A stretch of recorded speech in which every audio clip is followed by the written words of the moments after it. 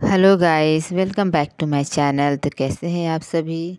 तो यहाँ पर शाम का टाइम हो रहा है तो मैंने ना आ, मतलब मैं पोहा बनाने वाली हूँ। तो पोहा बनाने के लिए मैंने पोहा को जो है पहले धो के रख दिया था फूलने के लिए और यहाँ पे कढ़ाई जो है गर्म हो गई है और मैंने उसमें ऑयल डाल दिया है। उसके बाद जो है मैंने इसमें बादाम डाल दिया है। इसे हम हल्का सा भूंज लेंगे। जैसे ये थोड़ी सी लाल हो जाएगी हम इसे भून कर निकाल लेंगे। तो ये बढ़िया हो चुकी है, निकलने लायक तो हम इसे निकाल रहे हैं। उसके बाद मैंने इसमें राई के दाने ऐड कर दिए हैं और तुरंत ही प्याज ऐड कर देंगे। और इसे ना थोड़ी देर जो है हम इसे लाल कर लेंगे। उसके बाद हल्दी ऐड कर देंगे।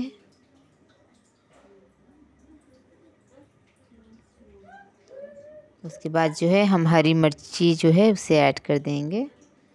सबको मिलाकर एक मिनट भूनेंगे।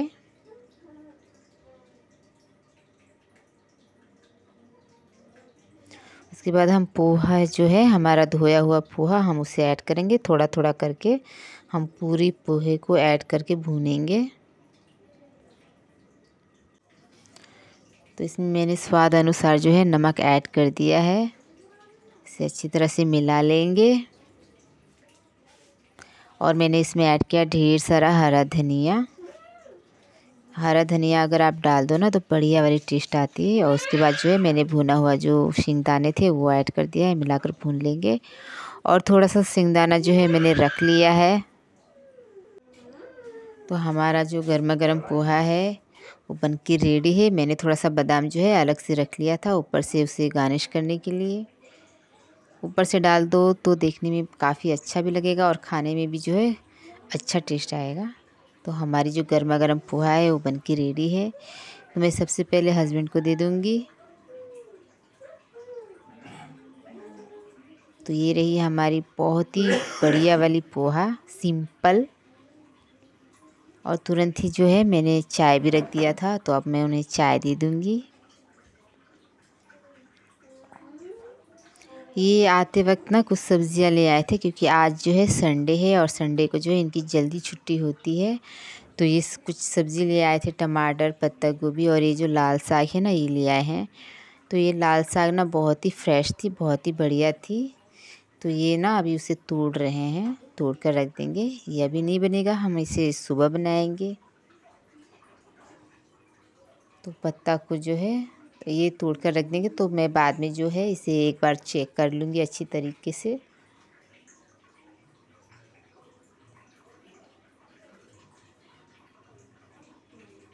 संडे का जो दिन होता है, वो बहुत ही अच्छा दिन होता है।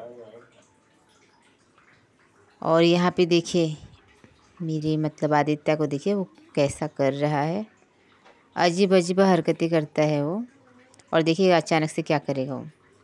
आ गया है साग तोड़ने। मैंने फिर उसे मना किया कि तुम साग मत तोड़ो। उसके बाद जो है, हस्बैंड को मैंने कह दिया था कि आप ना सब्ज़ी बनाइए। तो उन्होंने कहा, ठीक है, मैं भिंडी का भुंजिया बनाऊँगा। तो ये वाली जो तो इन्होंने जो है मतलब भिंडी भी ले आए थे। तो बहुत ही फ्रेश भिंडी थी, बहुत ही अच्छा एक भी सड़ा हुआ नहीं था भिंडी। तो ये भिंडी का भुंजिया बना रहे हैं, इसे बारीक बारीक कट कर लेंगे। और देखिए मेरी बीबी को, वो मुझे डरा रही है, हूँ हूँ करके। ये देखिए।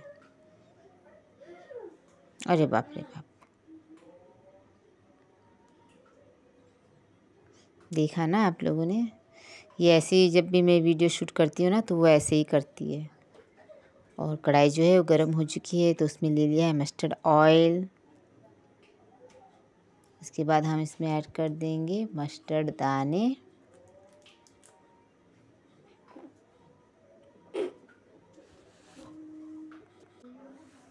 तो साथ ही सूखी हुई लाल मिर्ची जो है उसे भी ऐड कर देंगे और थोड़ा सा उसे हिला लेंगे। अब भिंडी जो कटी हुई है उसे ऐड कर देंगे। ये जो भिंडी का भुंजिया है, ये हस्बैंड बना रहे हैं। बहुत ही बढ़िया बन के रेडी हुई थी। इसमें उसके बाद जो है इन्होंने लहसुन ऐड कर दिया है, कद्दूकस करके।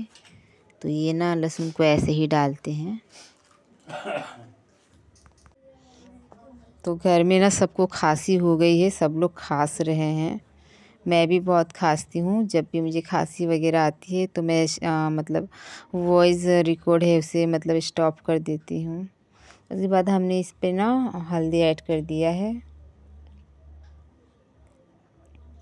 हल्दी, नमक जो है, जो भी हमें डालना था स्वाद अनुसार हमने सब कुछ ऐड कर दिया है।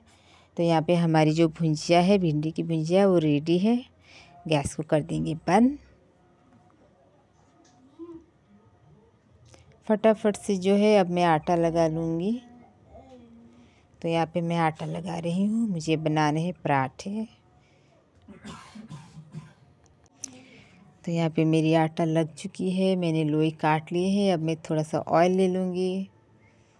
और ये जो कटोरी है ना, थोड़ी गर्म थी क्योंकि गैस के पास ही मैंने रखा हुआ था। तो जो पहली रोटी है ना, वो मैं मतलब सूखी रोटी बनाऊँगी क्योंकि आदित्य जो है बोल रहा था उसे ना, फुली हुई रोटी देखना है। तो एक जो है मैंने उसे फुला कर दिखा दिया है। वो खाता नहीं है मतलब पराठे ही खाना पसंद करता है। इस तरह के मतलब जो ड्राई रोटियाँ होती है ना, वो पसंद नहीं करता है। लेकिन उसे फुली हुई देखना था, इसलिए मुझे एक रोटी जो है फुला के उसे दिखाना पड़ा। फटाफट से जो है मैं यहाँ पे अपने पराठे सीख लूँगी।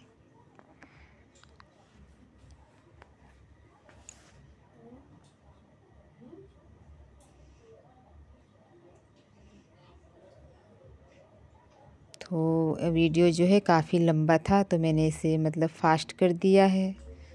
बहुत लंबी वीडियो हो गई थी ये।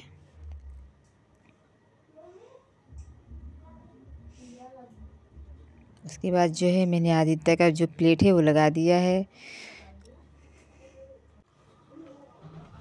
तो मैं उसे यहाँ पे सैलड दे रही हूँ, क्योंकि जस्ट हस्बैंड ने बनाए थे सैलड हाँ मतलब पत्ता गोभी, टमाटर और प्याज के और भिंडी। आदित्य खाएगा तो नहीं, लेकिन मैंने फिर भी उसे जो है दे दिया थोड़ा सा तो खा लो करके।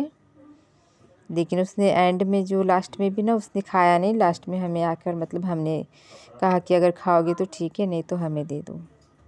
तो देखिए, यहाँ पे मैं मतलब हमारा प्लेट लगा ली हूँ। आदित्य जो है टेबल में बैठ के खा रहा है। हम लोग जो है ये साइड बैठ के खा रहे हैं। बहुत ही सुकून वाली ये जो पल है ना, सुकून वाली पल है। बहुत ही अच्छा लगा मुझे आज का जो दिन है, ये जो वक्त है। बहुत ही बढ़िया वक्त होता है ये वाला। इस इस टाइम का ना हम लोग इंतज़ार करते रहते हैं कि कब शाम होगी, कब हस्बैंड आएँगे और कब जो है हम चारों कोई फुल फैमिली साथ में इंजॉय करेंगे हमारा रात का डिनर तो देखिए किस तरीके से बेबी जो है बेबी भी खा रही है हम लोगों के साथ। Bye friends.